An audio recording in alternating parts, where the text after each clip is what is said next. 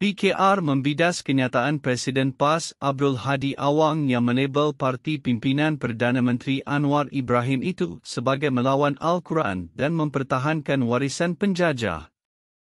Menurut PKR, walaupun begitu Abdul Hadi gagal menyatakan hal tersebut secara jelas sebaliknya berhelah apabila menghasilkan hantaran yang tidak sepadan di antara tajuk dan kandungannya.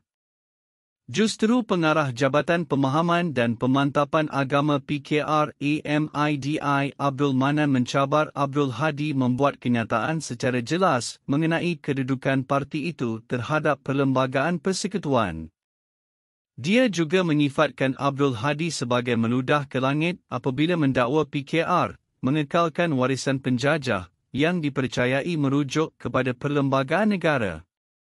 Agak menunjukkan apabila Abdul Hadi menuduh PKR mempertahankan perlembagaan persekutuan yang bertentangan dengan Islam, sedangkan perkara yang serupa dilakukan wakil rakyat Marang tersebut bersama sekutunya sebelum ini.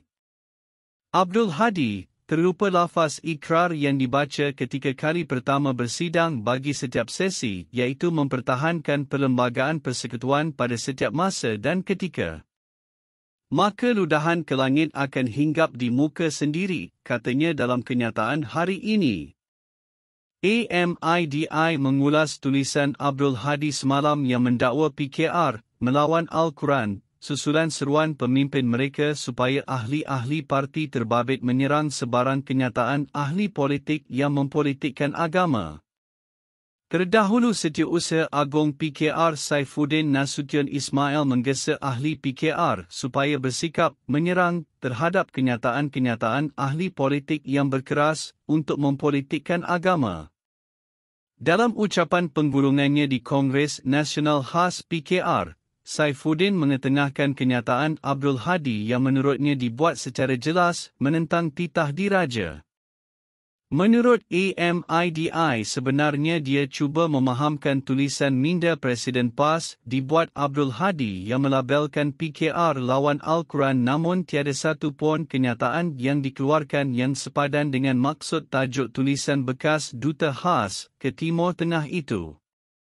Pihak pimpinan PKR hanya mahukan keikhlasan dan kesungguhan wakil rakyat Marang dan beberapa ahli parlimen dari PN untuk hadir ke sidang parlimen. Jika wakil rakyat Marang hanya sibuk beraksi dengan berpidato di merata tempat tapi tidak ke sidang parlimen, maka itu adalah satu perkara yang bertentangan dengan agama.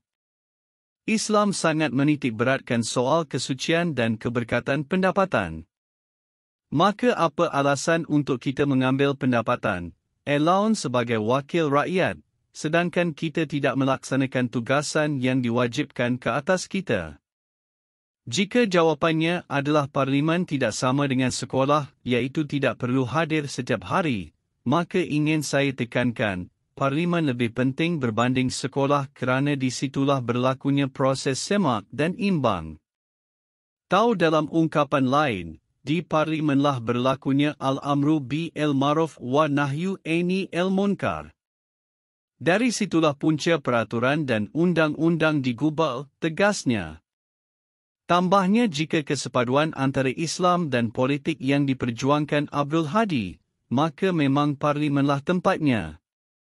Ia bukan sahaja menjadi wajib dari sudut politik tetapi juga dari sudut dakwah sebagaimana yang dipamerkan oleh generasi para sahabat di Madinah sehingga meraih gelaran Khaira Ummah, umat terbaik, jelas AMIDI.